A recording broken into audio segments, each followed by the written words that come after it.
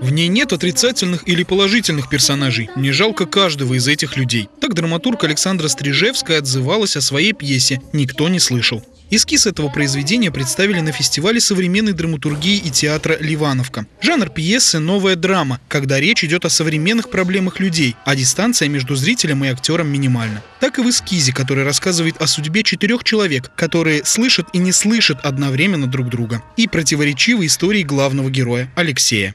Я размышлял в этой работе о том, что люди, как каждый человек, это вселенная, а, и когда две вселенные сталкиваются, вопрос первый, а могут ли две вселенные сойтись в одну? А, и если могут, то насколько это катастрофично?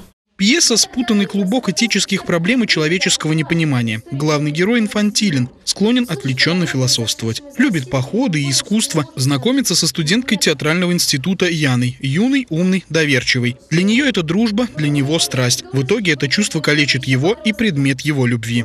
С одной стороны, этот персонаж да, в пьесе никто не слышал, Стрижевской, он сам насильник, получается, да, но при этом и он же и жертва в то же самое время. Это про отношения, про одиночество и, конечно же, про любовь.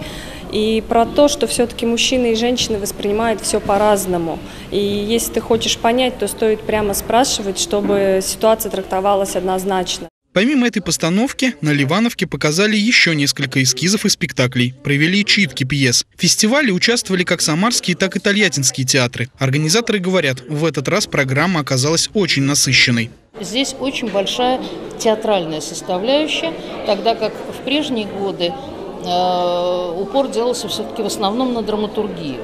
То есть э, фестиваль называется «Драматургия театра», но э, акцент делался на драматургию, здесь акцент на театр.